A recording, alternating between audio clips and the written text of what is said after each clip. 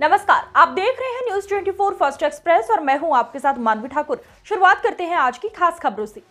बेला थाना क्षेत्र की पीड़िता ने पुलिस अधीक्षक औरैया के समक्ष तहरीर देते हुए आरोप लगाया है कि हमारी ज़मीन गाटा संख्या 311 व 307 में विपक्षी राजवीर चौहान पुत्र लाखन सिंह चौहान और उसका सहयोगी राहुल चौहान के द्वारा जबरन गेहूँ की खड़ी फ़सल में अपनी दबंगई से बलपूर्वक निर्माण कार्य कराया जा रहा है, जबकि उक्त विपक्षियों का पीड़िता की ज़मीन से कोई सरोकार वास्ता नहीं है और न ही किसी भी प्रकार के उस ज़मीन के दस्तावेज़ विपक्षी के पास मौजूद हैं।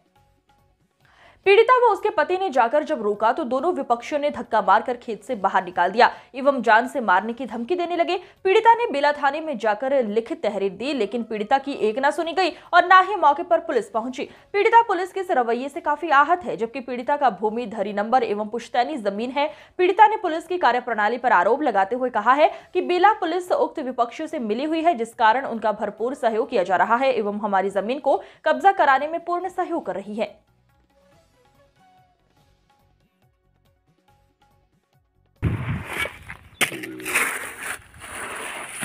पहले बना था उसके बाद टूटा हुआ भी है।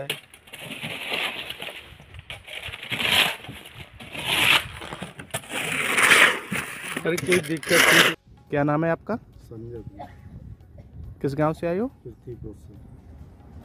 पृथ्वीपुर पूरा बताओ पता। पृथ्वीपुर थाना बेला तहसील विदुना जिला औरैया।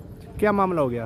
मामला ये हो गया मेरी ज़मीन पर कब्जा करवाया राजवीर चौहान और राहुल चौहान ये कब्जा करा रहे हैं इस- ज़मीन में गेहूँ खड़े थे वो नष्ट कर दिए।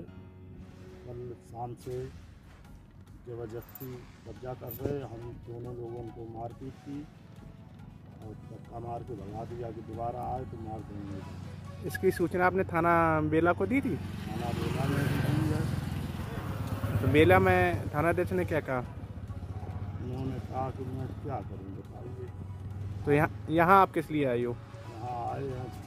घटना पत्र वहाँ भी देने के लिए आए कि मेरी सुनवाई की जाए, सुनवाई को